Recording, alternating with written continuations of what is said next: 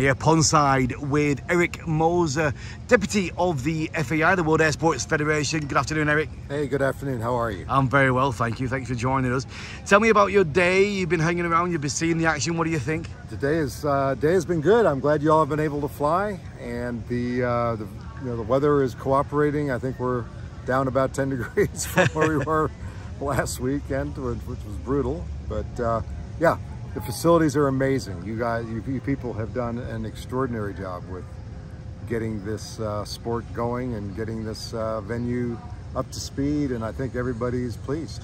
And uh, we've got the drone racing as well. Did you manage to have a look? I did. As a matter of fact, I was there all, most of the day yesterday, even though I made a trip here quickly and we had success. We kind of closed uh, a little later than scheduled, had a few technical glitches. There was uh, some damage, obviously, due to the weather that passed through but I was able to give out some of the medals to the uh, winners last evening around uh, 2000. Fantastic. And you come from sailplanes, don't you? I do, yes. Long time, since for, oh my gosh, 50 years. Oh, 50 years. And Eric, how, how does the selection go for the World Air Games for air sports? How do they decide which ones we're allowed to do? So it really, I it, it goes to the uh, the host actually. The, right. So the uh, I, I, think building upon past World Games, yeah. the uh, the, I know that in the uh, Wroclaw uh, World Games there was a there was an additional event. Uh, paragliding, of, wasn't it? Of, of paragliding. I'm sorry, no, it was also. Uh, uh, what am I trying to say? Oh, um, it was gliding, but it was uh, aerobatics. Yes. Which is a big deal. Which was a big thing in uh, in uh, Poland. Poland yes. obviously has a big history, long history of uh, gliding in their sports.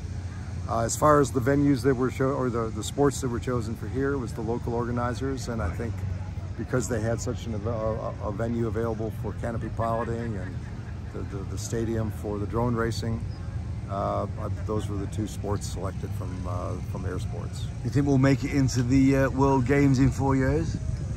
Do I think which one will gliding or uh, for canopy piloting? Oh, I hope so. I'm, I'm i know it's going to China. Uh, I'm, I'm, sure that the, they've had a delegation now, and I'm sure that they've visited this and seen what a spectacular, uh, a spectacular event it is for both the the pilots and for the for the uh, for the fans and for the uh, all the spectators. And what happens for you next, Eric? Well, next uh, I had thought I was going to be giving out medals for the winners tonight, but uh, as I understand, that's been delayed till tomorrow, yes. till Tuesday, which is fine. Um, so I'm going to just enjoy myself here at the uh, Barber Motor Speedway and the venue, and and uh, maybe visit with a few of the pilots, most of whom I don't know, but I but I respect their capabilities and their passion and their uh, enjoyment of the sport immensely. So fantastic. Well, thank you very much for your time. I hope you enjoy the rest of your day. Thank you. I'm certainly I will. Thank you for thank you for the time.